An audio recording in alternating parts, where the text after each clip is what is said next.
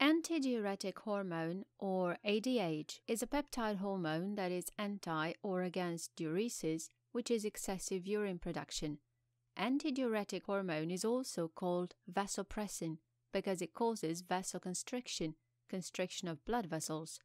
So, antidiuretic hormone prevents making too much urine, which leads to water retention and vasoconstriction, and together these two actions help increase blood pressure.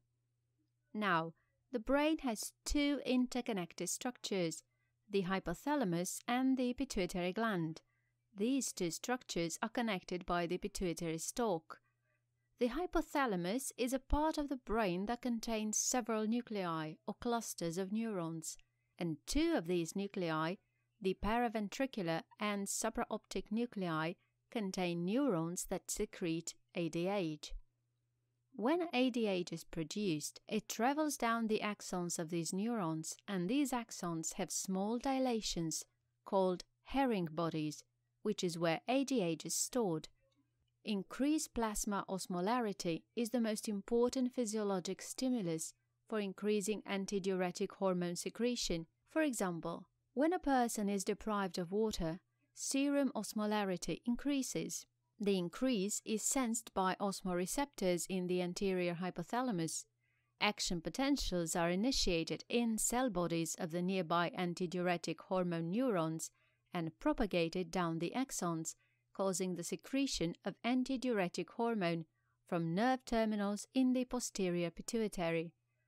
Hypovolemia is also a potent stimulus for ADH secretion decreases in extracellular fluid volume of 10% or more cause a decrease in arterial blood pressure that is sensed by baroreceptors in the left atrium, carotid artery, and aortic arch. This information about blood pressure is transmitted to the hypothalamus, which directs an increase in ADH secretion. ADH has two actions, one on the kidney and the other on vascular smooth muscle. The major action of ADH is to increase the water permeability of principal cells in the late distal tubule and collecting duct. ADH travel to the kidneys and act on vasopressin receptor 2 or AVPR2, which is present in the principal cells of the distal convoluted tubule and collecting ducts of the nephrons.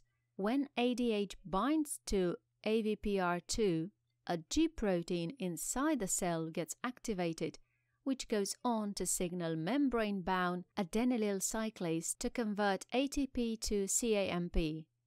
Increased CAMP leads to two things.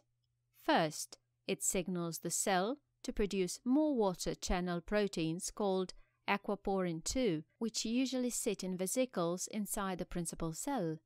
And second, it causes vesicles loaded with aquaporin 2 to fuse with a cell membrane so that the aquaporin 2 proteins can embed themselves in the apical surface of the cells, the side facing the lumen of the tubule. These aquaporins ultimately allow water to travel out of the lumen of the tubule and into the cells lining the nephron, and ultimately back into the blood.